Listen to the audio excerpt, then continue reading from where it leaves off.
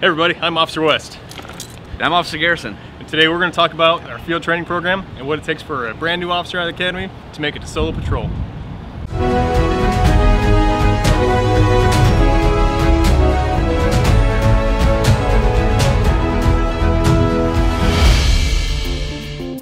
right, welcome everybody. Again, I'm Officer West. Today we're going to be talking about what it takes for uh, brand new police officers fresh out of the academy uh, to make it to where they're handling calls on their own and doing every aspect of uh, what it takes to be a police officer in the city of Dixon and the process they go through. And why we're covering that right now is we actually have an officer, uh, Officer Head. He's recently graduated his academy, and you know, by all accounts, the state of Illinois says that he is a full, fully fledged um, police officer. Uh, however, you know, the city of Dixon and many other police agencies, we, you know, we put officers through what we call a field training program, and once they go through that program, they get a, a dedicated field training officer that's assigned to that person to ensure that you know they are learning all the you know, procedures and policies of our specific department or the city, you know, the geography, everything else that comes along with it. So uh, currently we have uh, Officer Scott, who is the field training officer for Officer Head right now, and we'll go over to him and have him explain a bit more of uh, what he's going through at this time. Dude. So what is he doing back there? I don't know what he's doing back there. I need to I need to back up the chair a little like bit. me over there. Yeah. I need to sit up a little bit. Here we go. It's, it's 3 a.m. Okay. We just sent your probationer home. Yeah, it's after 3 a.m. and he went home 15 minutes ago now. I'm Officer Scott with the Dixon Police Department. I have uh, 12 years experience in law enforcement and I currently am an FTO with with our agency. I'm Officer Garrison, Dixon Police. I've been in law enforcement for going on eight years now. I'm also a field training officer with the Dixon Police. Our FTO process is broken down into three phases uh, with the an additional shadow phase at the end. And each phase is broken down into uh, different categories which the probationer needs to uh, succeed at before uh, going to the next phase.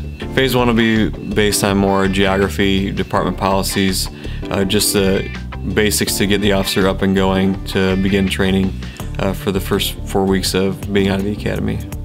Typically, phase one is during the daylight, and then the officer will transition to uh, night shift for phase two and for phase three.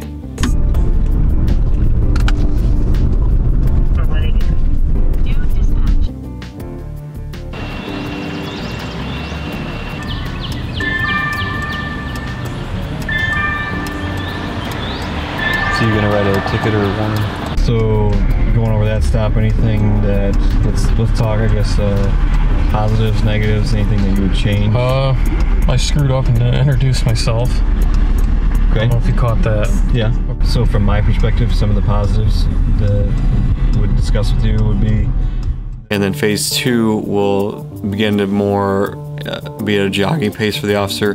then you throw in the element that it puts them on night shift, uh, so kind of throws them off guard to where they uh, have to remember all the uh, all the geography, and then it gets them into handling different types of calls uh, on night shift.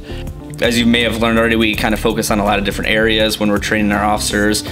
We look kind of ma- at major points in law enforcement training. The, the most obvious would be use of motor vehicle. Everybody sees cops driving around in squad cars. Um, so one of the big things we have to look at is how they're driving the car in traffic, how they operate the car when they're responding to an emergency.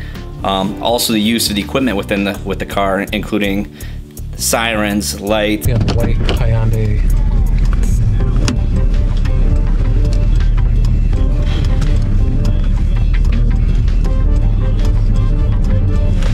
Number advised Lincoln and Grandview. you're at Pump Factory in Harriet. Be Pump Factory. Then phase three is more of a running pace to where they are handling 75, 80%, up to 90% of the calls on their own uh, without the FTO's assistance.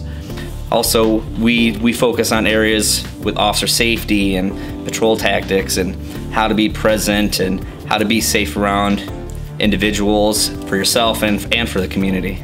One of the big points that we try to teach new guys is interpersonal relationships, and that's one of the key areas that we also, uh, you know, train them on. And that's simply just talking with people and dealing with them, and uh, you know, trying to relate with them. So people are our whole job.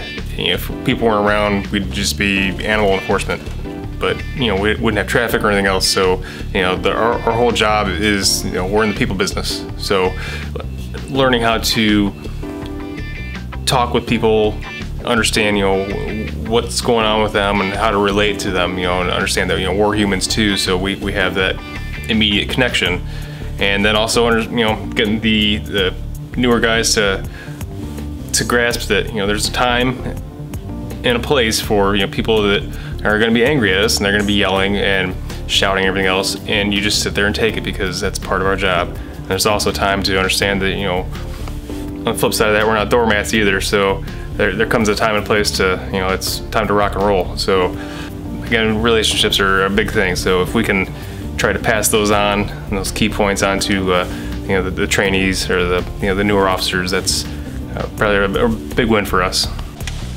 So ultimately, it's up to the field training officers to you know, ensure that the new officers are you know, fully trained up to the department standards and that you know they have the trust of the department behind them to go out and do things individually. So I, I know from my own experience, I couldn't wait to get finished with my field training and listen to what the uh, officers training me had to say, but I couldn't wait to go out and you know get in my own squad car by myself, go handle the calls with the trust of the department behind me, knowing that you know, what they had trained me with was what I was going to use going forward. I also couldn't wait to get those summer nights where I had the, uh, the windows down in my squad car, cruising through town, the warm air coming in, and building those relationships. We'll see you next time.